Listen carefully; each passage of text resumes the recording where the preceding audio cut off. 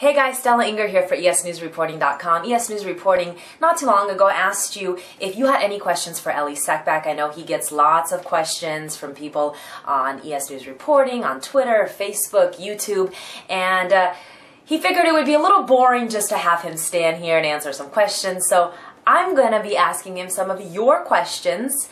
Um, so let's go ahead and take it away. All right, Elie, the first question, question that everyone wants to know. I mean, a lot of your fans want to know is how did you get into reporting and what was your major break that got you in there with the top dogs of boxing? This comes from Chris Venegas. So first of all, I feel like I'm in Who Wants to Be a Millionaire. Is this like if I answer it wrong, can I call a friend or did I get a million bucks? But how did I get into reporting? I used to play basketball. Some of my friends um, tried out for the NBA. I went with them down to the trials. I made funny comments. The players laughed. I talked to them. It was Kobe's rookie year, Fisher's rookie year. I wrote an article. I sent it out. One newspaper faxed it. Back then there was no email. They faxed it back to me and they said, "Don't ever send us anything again." I saved mm-hmm. that fax, by the way. And then I got my first break. A newspaper gave me a shot, and they grew and grew and grew. And I moved from writing to video when people didn't believe my articles. They go, "There's no way Kobe talked to you. There's no way Shaq would acknowledge you." Right. And then I brought in the video. Boxing, actually, a few years back, before Manny Pacquiao fought De La Hoya, before his big break, I interviewed him. And the response that I got from it and the interest that I saw that Manny brings to the sport, believe it or not, drew me into boxing. So my first real boxing interview was, was with uh, Manny Pacquiao. So you mean to tell me your first interview was with one of the biggest boxing stars in the world? Talk yeah, but, about talk about being lucky. Yeah, but back then he wasn't the superstar that he is today. Right, but still. I didn't know who he was. I just knew he was a talented fighter from the Philippines. Right. But now, obviously, the whole world knows. And that was my first break. Yeah, that was the first boxer. So most people would start at another level or another scale. I just happen to stumble upon the number one guy. Okay, let's not forget YouTube, though. You got to give YouTube a lot of credit. You know, you went to a lot of television stations. A lot of people said no to you. You kept knocking on doors, kept knocking on doors. YouTube comes around, and um, that, you know, the rest is history. 65 million views, more than 20,000 followers and growing and growing. And right. this is how it works because when people tell you no, you can either absorb it and take it and quit, or you can say, let me prove you wrong. I used to meet the vice presidents of networks and I would sit in on meetings and they would tell me, Elie, nobody cares about your videos. Nobody cares about your interviews. You're wasting my time. You're wasting your time. Is it really your voice in there? Mm-hmm. Did you do fancy editing? Did you impose? And I'm like, yeah, it's my voice. I did the interview. They're like, we just want to know what's the final score? How much do the Lakers have? How much do the Clippers have? And that's it. We're not interested in all this who are the players? What makes them tick? We don't care about their homes. Which is not true. Which is not true because when I'm a fan, I want to know more than just the little bit that I get on, exactly. on TV. And I know a lot of boxing fans want more than just the a week before the fight taste of who the fighters are. And even then, you can't get to know them because they're all so focused and they can't be loose and relaxed. Next question. Um, first, it says, first, I want to let you know that your videos, you do a great job. My question is, did you ever end up drinking that Corona that Brandon Rios offered you at his party after winning the belt. You know how we Mexicans do it, drink all night. So what is it? I have to find that piece of video. It's probably the most funniest, most hilarious video you ever see. I almost choked on one bottle of beer, but yes, I did end up drinking it. And if I ever do find that video, I will upload it. It'll probably make like everyone laugh. Next question. How do we get boxing back to what it used to be in the 80s when various weight classes had big names across the board and fighters were up for every challenge? What is your thought? it's a grassroots effort. It's not going to happen overnight. Now that Showtime and CBS are airing more of it, it's it's getting more exposed. But if a sport is hidden, if it's underground, it's never going to go back to when it was prime time. Um, how do you get it? You just expose more people to the sport. If you know someone, anybody of your friends, introduce them to boxing. Explain them. Bring them to the gym. Because once you get a taste of it, you want more. You just love it.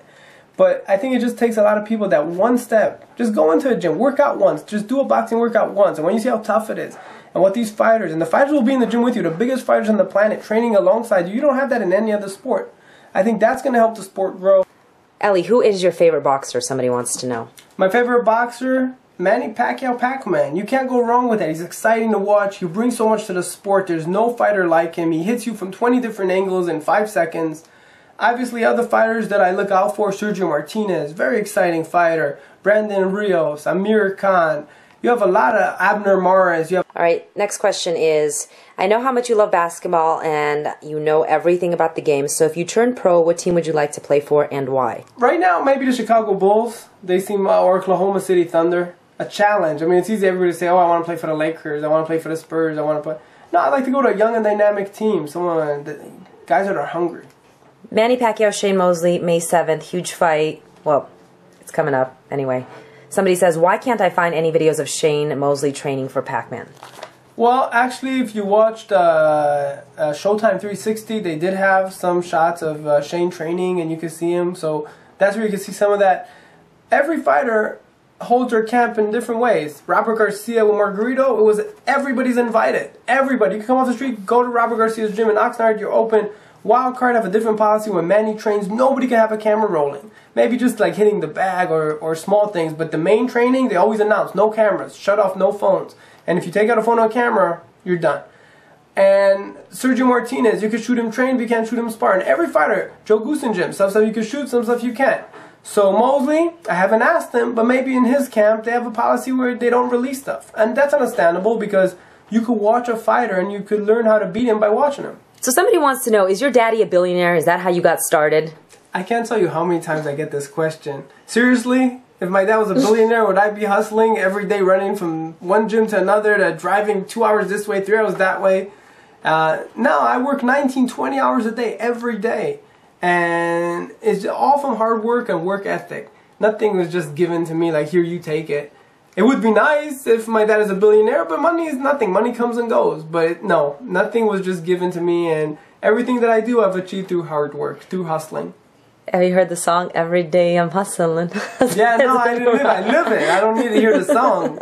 It's like. Uh, no, you do. You, you do. I you work do hard, work and hard. people always tell me, "Are you high?" I was. I was with the after Nonito. Or are you drunk? Or am I drunk? After Nonito Donaire's part, true story. Nonito Donaire fought in Anaheim against Vladimir Sidorenko, took care of him, broke the guy's nose, knocked him down, knocked him out. So after the fight, I was invited to the after party, and I'm over there with uh, D Source, and there was another reporter there, uh, Truth Escobar from the Philippine News, and the bouncer at the club would not let me in. He's like, "You're too drunk." I'm like, "Nah, I don't drink, I don't smoke." I know he's like, "You're not getting in there." Like, listen, he's a reporter, he just doesn't sleep, and the guy didn't believe me. A few people asked this question. Elie, do you plan on visiting the UK and coming down here? Man, I need to go on a world tour. There's so many countries that I'd really love to visit. I I still have to shoot and edit and upload, and I can't just take time off. But yeah, England definitely high priority. Australia high priority. Elie, you recently launched esnewsreporting.com. By the way, congratulations on that. Um, people have been asking, are you hiring? One person writes, is ES News hiring? I'm bilingual. At the moment, not hiring yet. Maybe down the line. But what I can do at the moment, if you shoot a video, if you shoot uh, someone work out, don't send me videos of fights themselves. I can't use that. But if you shoot yourself giving me commentary on a fight, if you shoot yourself, hi, I'm here at the MGM at the Manny Pacquiao Shane Mosley fight, and I caught up with fans. If you take still pictures, send it to me. Uh, ES News Reporting at yahoo.com or go on the website under contact and you'll see how to how to send stuff and I can give you the exposure. Put yourself in a video, you'll be a part of esnewsreporting.com. Well, thanks to all of you guys out there for submitting your questions. Obviously, there were a lot of questions, so we couldn't get to all of them. Uh, Elie will be uh, doing this once again. But if you have any questions for him, make sure to log on to esnewsreporting.com and click under contacts. That's where you'll find the email. Of course, you can always log on to Facebook and Twitter as well. Thanks, guys. I'm Stella Inger.